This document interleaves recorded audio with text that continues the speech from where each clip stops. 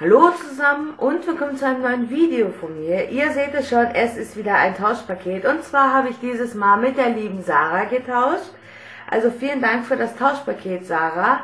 Äh, ihr seht, es ist einiges drin. Ich packe auch gleich das Päckchen an die Seite und wir packen alles einzeln zusammen aus. Dafür hole ich euch natürlich näher ran. Im Vorfeld möchte ich aber noch eine Kleinigkeit loswerden und zwar habe ich das auch schon mit der Sarah besprochen. Ich werde jetzt die Regeln für das Tauschpaket ändern und zwar werde ich erst warten, bis ihr mir euer Päckchen gesendet habt und werde erst dann meins lossenden. Da eigentlich vor der Sarah noch ein anderes Tauschpäckchen geplant war, aber die werte Dame gemeint hat, na, wir verarschen mal Vanessa und äh, sahen mal ein paar Produkte ab. Zumindest kam es für mich so rüber. Äh, ich habe mein Päckchen losgesendet, es ist bei ihr angekommen ich habe dann gefragt, ja, wann sie ihr es lossendet. Ja, sie schickt es die Tage los, etc. pp. Ähm, es kam dann nichts. Ich habe dann nochmal angefragt. Ich wurde dann ignoriert. Nachdem ich dann aber geschrieben habe, ich würde meine Konsequenzen draus ziehen, ähm, kam dann doch nochmal eine Mail zurück, äh, dass sie es ja nicht hinkriegt aufgrund Versandkosten etc. pp. Dann habe ich gesagt, gut, okay, dann machst du es halt dann, wenn es passt.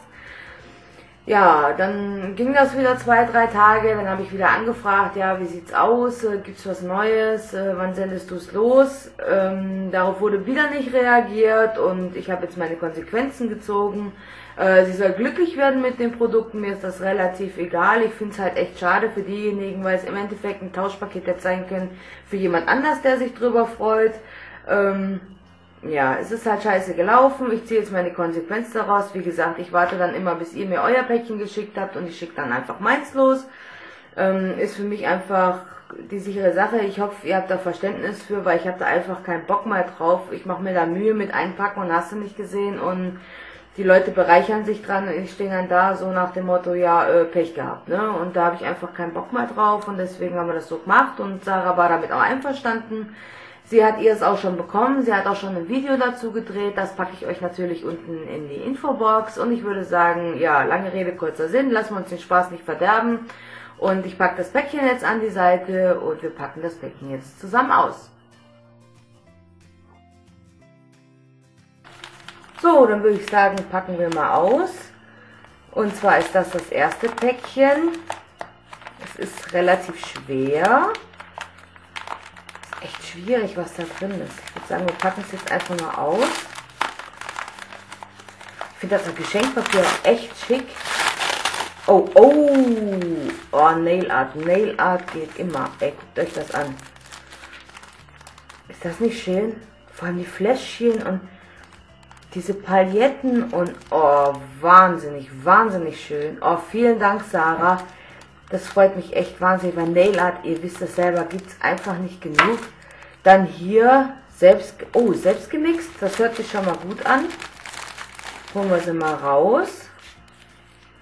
Oh, das ist aber schick hier, das selbst, das ist, glaube ich, das selbst gemixt. Ja, selbst gemischt. Die sind, glaube ich, alle von ihr selbst gemischt, wenn ich das richtig sehe. Also einmal hier mit rosa Pailletten. Oh, da bin ich echt gespannt, die mal auszuprobieren. Also, äh, ja. Also richtig schick. Dann haben wir noch ein grünes. Auch mit so Flitter drin. Richtig cool. Dann auch in lila, auch mit so Flitter. Die Idee an sich, ähm, ja, so glitzert selbst mixen, total geil. Hier dunkelblau, oh, das feines Glitzer geht ja echt immer, ne? Also feines Glitzer, da könnt ihr auch selbst euer Glitzergel ähm, gestalten und machen. Also richtig geil. Oh, guckt euch das Gold an. Oh, ich freue mich schon auf Weihnachten. Da kann ich das auf jeden Fall verwenden. Oder jetzt im Herbst. Goldtöne, Brauntöne. Bin zwar ich nicht der Fan von, aber für euch würde ich gerne, oder mache ich gerne mal so ein Design, aber ich selber würde es halt nicht tragen. Dann hier so ein richtig schönes Orange, richtig geil. Dann wieder so ein Rosa mit Pailletten und, und Flitter. Dann ein Rot, Dann ein Weiß, auch richtig schön mit auch wieder Paletten drin. Und natürlich so ein feines Silber. Oh, richtig cool. Also vielen, vielen Dank dafür, Sarah. Die sind ja mal richtig geil. Dann das nächste Päckchen ist auch relativ schwer. Es klappert auch ein bisschen. Schreiben wir das mal auf. Da bin ich mal gespannt.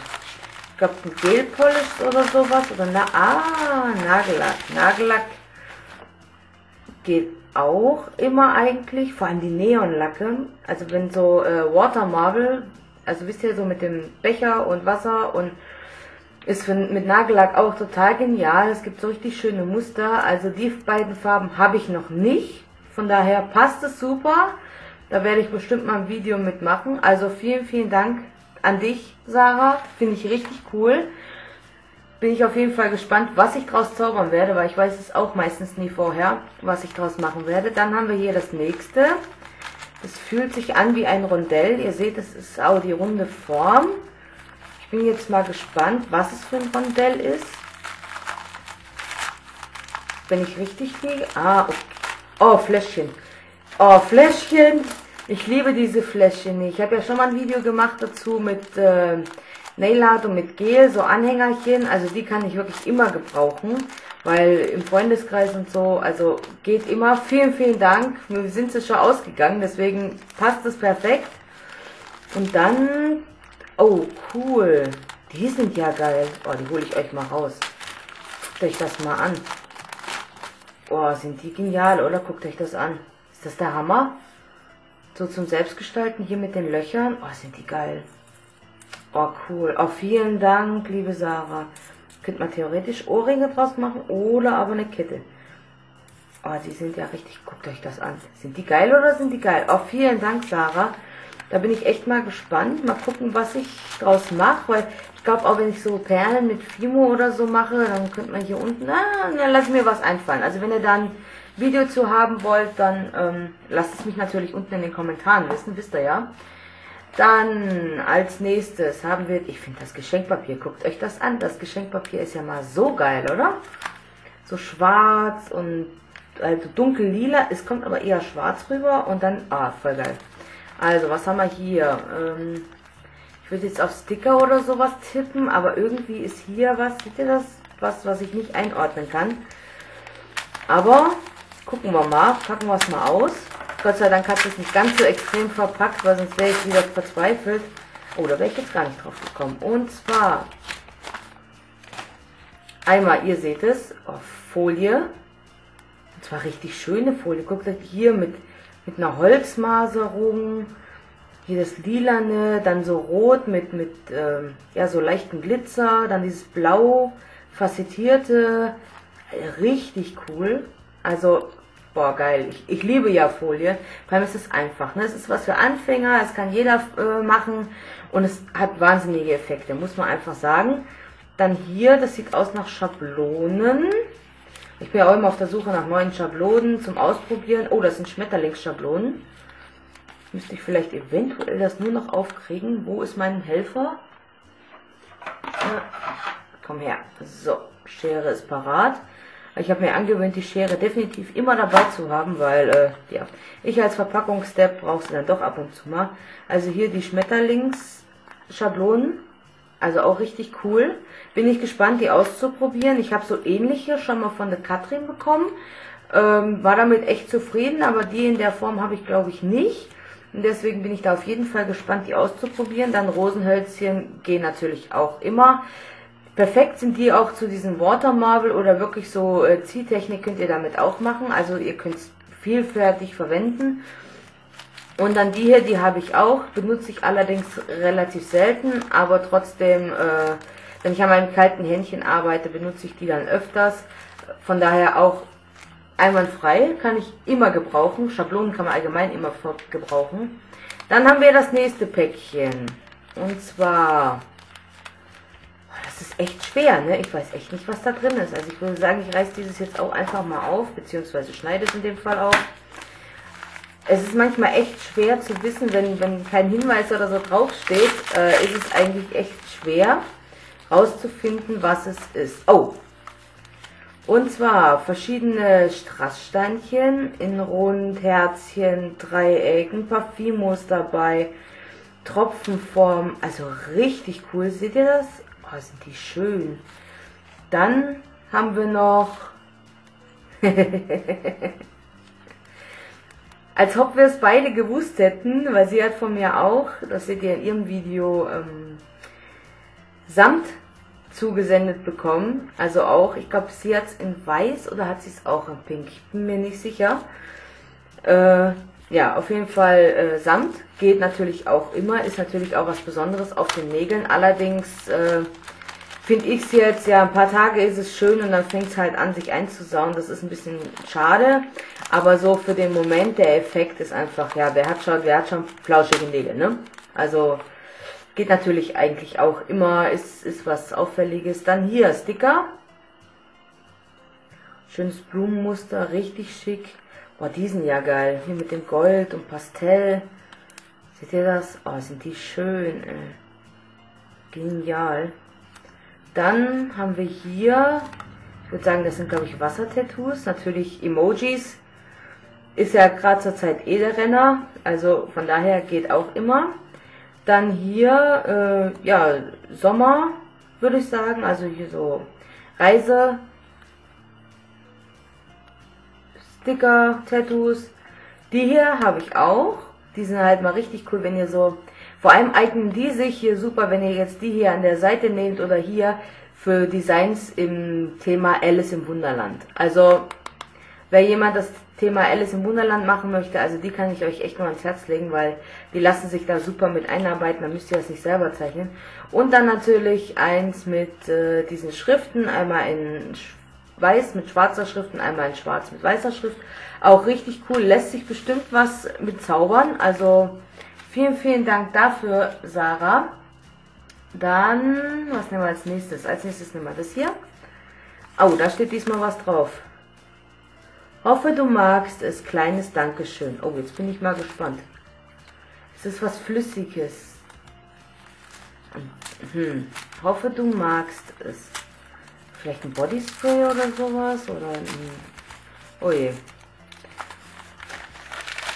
Du bist doch, du bist doch verrückt, oder? Du bist doch, äh,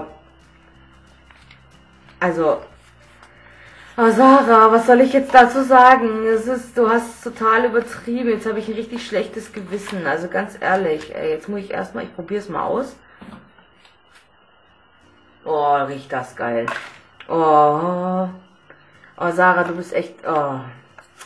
Vielen, vielen Dank. Ich, das, oh, das riecht so geil. Oh, jetzt, jetzt habe ich ein echt schlechtes Gewissen, muss ich dir ganz ehrlich sagen. Jetzt habe ich ein richtig schlechtes Gewissen, weil das hätte doch nicht sein müssen. Das ist, du hast so viele schöne Sachen schon reingepackt und äh, jetzt noch das als Dankeschön, das wäre doch echt nicht nötig. Äh, ja, ihr merkt schon, ich bin sprachlos. Ihr riecht jetzt total genial. Äh, Sarah, du bist unmöglich. Also das gibt noch eine Retourkutsche. Also das, äh, ja. Da sagen wir jetzt mal nichts zu, sondern, äh, ja, wie gesagt, ich bin total neben der Spur jetzt. Das fühlt sich an wie Pfeilen. Kommen wir zum nächsten Bäckchen in dem Fall. Ich würde sagen Pfeilen. Pfeilen geht immer. Würde ich sagen. Oh, oh, sogar verschiedene Farben, ne? Vor allem im Sommer finde ich es auch echt cool, wenn du so bunte hast. Und ah, guckt euch die hier an. Sind die nicht geil? So richtig Flower Power mäßig. Dann natürlich hier in Neon. Also richtig cool und die natürlich geht natürlich immer. Also vielen, vielen Dank dafür. Ich bin immer noch geflasht von dem Parfüm, ne? Also ich komme darauf jetzt gerade gar nicht klar, weil oh, das riecht so wahnsinnig. Jetzt, jetzt riecht das ganze Zimmer quasi danach. Also äh, ja. Eins, zwei,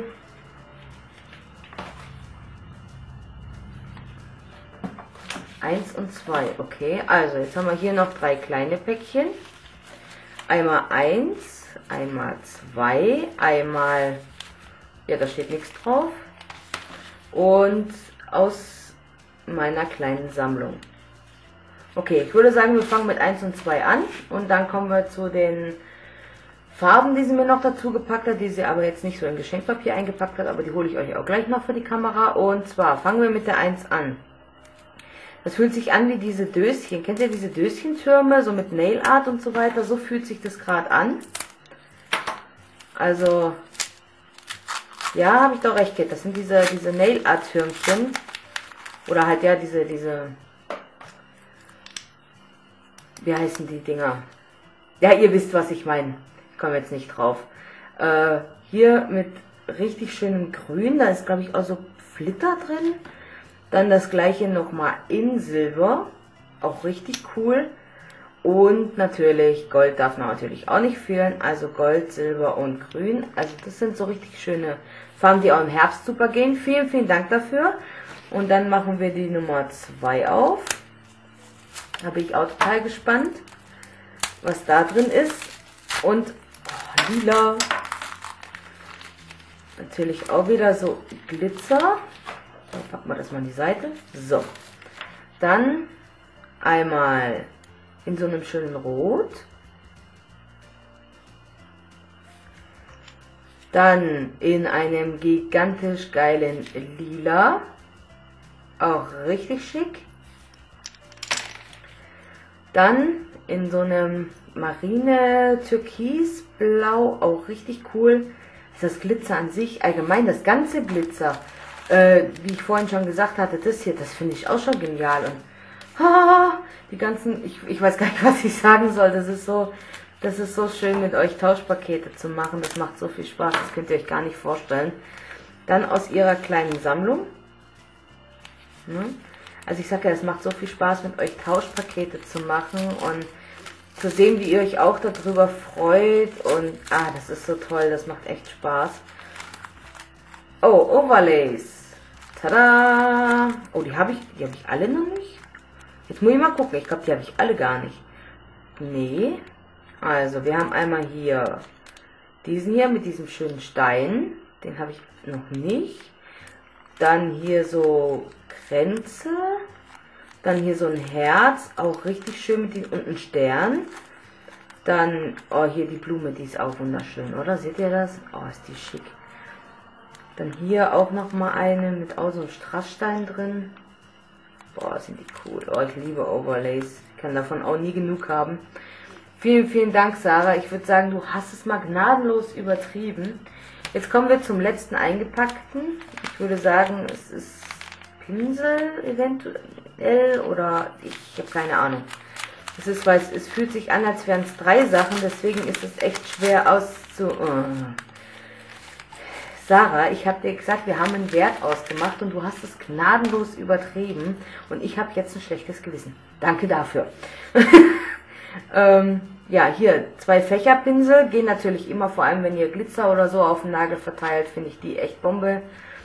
Dann natürlich zwei dünne Pinsel, die so Schlepperpinsel, die werde ich natürlich dann verwenden im Nail Art. Also die werden auch in Gebrauch kommen, Sarah, keine Angst. Äh, Vielen Dank dafür. Es ist, äh, ja, ich weiß nicht, was ich sagen soll. Ich bin total sprachlos. Ähm, und das hört ja nicht auf. Das hört ja nicht auf. Da kommt ja jetzt noch was, äh, wo ich auch noch total gespannt drauf bin. Und ähm, ja, ja, sprachlos. Äh, ja, ich, ich freue mich einfach total und ich hoffe, ihr merkt es auch, dass ich mich da wirklich drüber freue, weil wie gesagt, die Tauschpakete, das war so eine spontane Idee und es hat äh, die letzten Male halt so super geklappt, außer jetzt das letzte Mal halt. Ja. Da ist mal dezent in die Hose gegangen.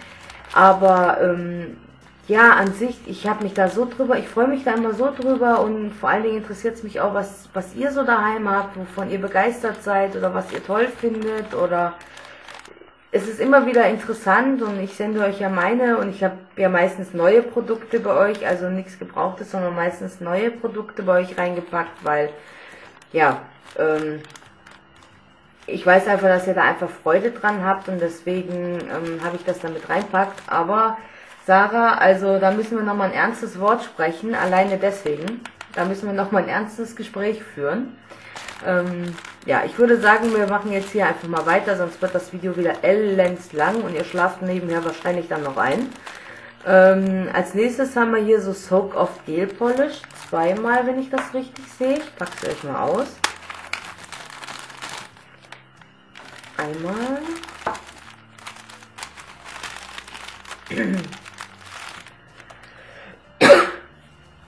Zweimal. So, jetzt weiß ich nicht, sind das Farben oder sind es keine Farben? Jetzt gucken wir einfach mal. Oh, das ist ein blaues Glitzer. Richtig cool. Ich hoffe, ihr seht das. So ein blaues Glitzer. Gel Polish. Geht natürlich immer Gel Polish. Wenn es mal schnell gehen muss, immer Gel Polish. Und dann hier nochmal einen. Und zwar, oh, so ein geiler Nude-Ton. Seht euch das an. Ist der nicht geil? Oh, ich habe zwei, drei Nude-Töne, aber irgendwie fehlt mir noch einer, wo ich wirklich sagen könnte, oh, der ist jetzt toll und den finde ich jetzt echt nicht schlecht, den werde ich natürlich auch gleich probieren, weil ich habe schon so eine Idee im Hinterkopf. Dann Nagellack Ultraviolett, UV-Nagellack von Studio Max. Gucken wir da gleich mal rein. So, Ultraviolett. Ich liebe lila.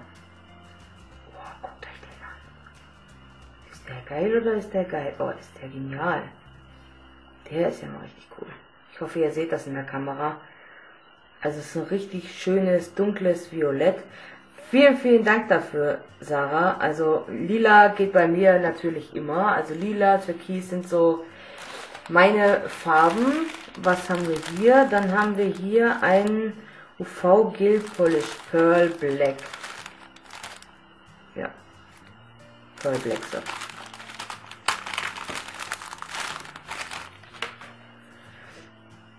Ja, Pearl Black.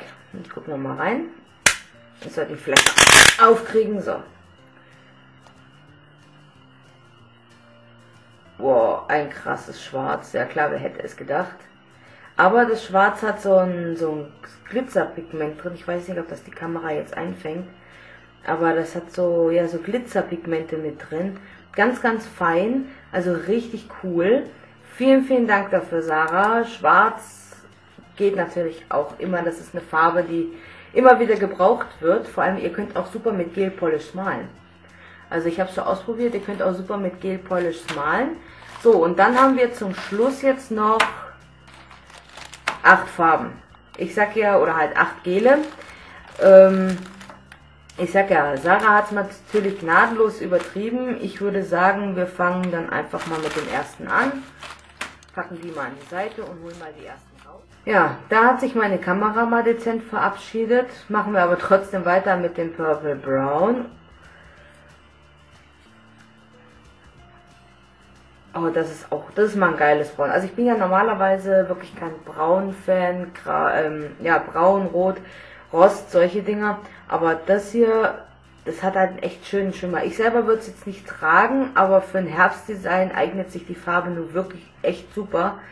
Also vielen, vielen Dank dafür, Sarah. Wird natürlich ausprobiert und eventuell auch ein Design damit gemacht. Und dann kommen wir zu den letzten beiden Gelen.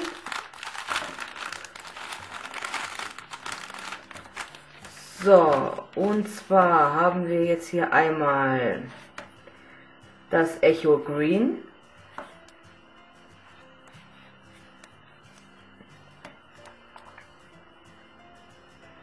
Das ist mal ein richtig, richtig cooles Grün, finde ich jetzt. Also mir gefallen ja eh so Türkis, Blautöne, wie gesagt, das wisst ihr ja schon, sind eh so meine Farbe. Aber das hat noch so einen richtigen coolen Schimmer. Das ist so ein richtiges, ja, Pastellgrün, aber mit, mit so Pearly-Effekt. Also richtig cool. Gefällt mir auch richtig gut. Und dann als letztes haben wir, wo ist die Farbe? Antique Brass. Oh je. Oh, auch wieder so ein braun Lila, aber diesmal mit einem lila Stich. Auch richtig, richtig cool. Wie gesagt, für Herbstdesigns ist das mal richtig genial. Also, Sarah, ich, ich weiß gar nicht, was ich sagen soll. Ähm, ich würde sagen, ich hole jetzt euch nochmal alles vor die Kamera und äh, dann kommen wir sozusagen zum Schlusswort und ja, äh, ich muss mich erstmal wieder sammeln, würde ich sagen, weil es ist so wahnsinnig viel und ja, ich würde sagen, wir sehen uns dann gleich wieder.